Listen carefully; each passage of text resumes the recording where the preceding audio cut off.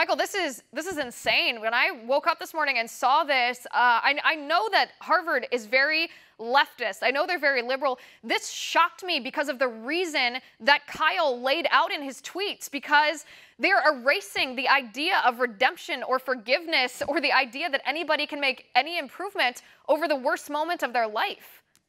Well, of course, I'm sure nobody on the Harvard admissions committee has ever said a racial epithet, even once, even joking. They've never said anything like that because they're pure as the newly fallen snow. Kyle didn't go far enough in his statement. He said that Harvard has a past of racial bigotry. They don't just have a past of racial bigotry, they have a present of racial bigotry. And this is the great and cruel irony of what they've done to Kyle.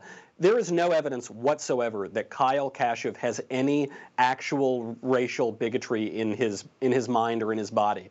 He said shocking things, a ton of other shocking things when he was 16, as 16-year-olds do. There is, however, plenty of evidence that Harvard University exhibits bi racial bigotry every day. That's why there's a major lawsuit by Asian students and applicants who have applied to Harvard, and the dean of admissions has admitted that Harvard gives a disadvantage to Asian students who apply. So if an Asian student applies, they're docked on their SAT score by about 250 points. If they were a member of a favored racial minority group, such as black applicants, they would be able to have a lower SAT score and be able to get those slots. So we think of affirmative action in terms of helping certain racial groups. In this case, they are harming and discriminating against other racial groups. That's what Harvard is doing right now. But instead, they turn on Kyle Kashuv, who, who just simply said outrageous things in a private GChat message that was leaked by a political opponent of his. The way that you know that the words in that chat don't reflect what he really believes is he said the N word a bunch of times in all caps.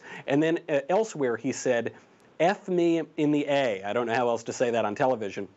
He said a, a sort of gross and explicit uh, term to describe gay sex. So either the things that were written in there reflect what Kyle really believes, and he's secretly a gay guy, or he was just saying things that are so shocking and outrageous for shock value, which means he doesn't find them to be normal. He doesn't find those things to be what he really believes. He apologized for them, which probably he shouldn't do because he doesn't owe the public one iota of an apology in this case.